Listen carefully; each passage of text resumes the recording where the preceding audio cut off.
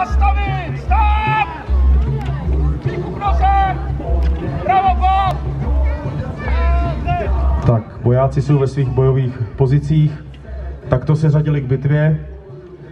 Řadili se do takzvaných tercí. Používala se buď španělská tercie, nebo později takzvaná nizozemská, kdy se řadili do několika řad. Ta nizozemská se od té španělské lišila, že nebyla tak hluboká, ale byla více roztažená do stran. To znamená, že byla pružnější a mohla lépe reagovat na celou vzniklou situaci na bojišti. Takže vidíte řazení vojáků před bitvou.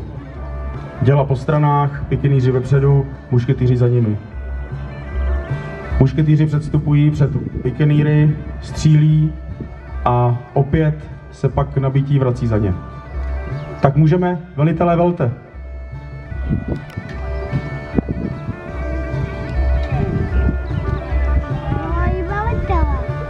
Podívej ho, už, vidíš?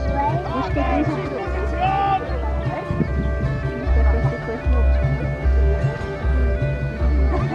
Třeba péči ty za nimi stojí, teď celý na to teď se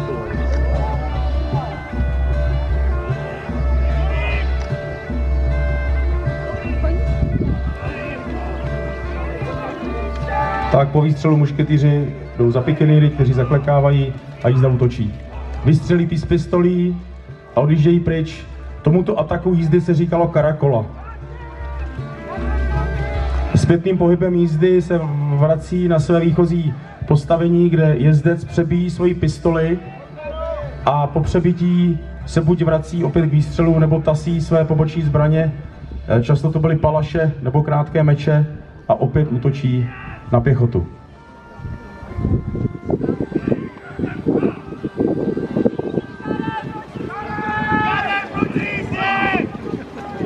Takže vidíte, že pěšáci tvoří takzvané karé. To znamená, že si vzájemně kryjí záda.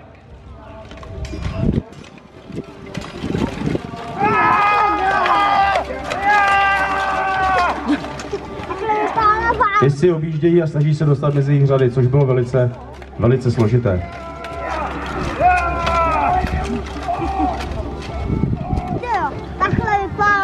Tak, to byla ukázka použití mušketýrů, pikenýrů, dělostřelců, jejich součinnost a použití v bitvě doby 30 leté války.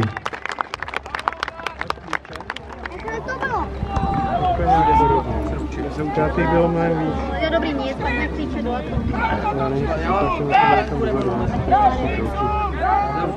Nyní prozvíte a on dojdu. Co, ukážme to než. Jo, to bylo nabídka. Tak.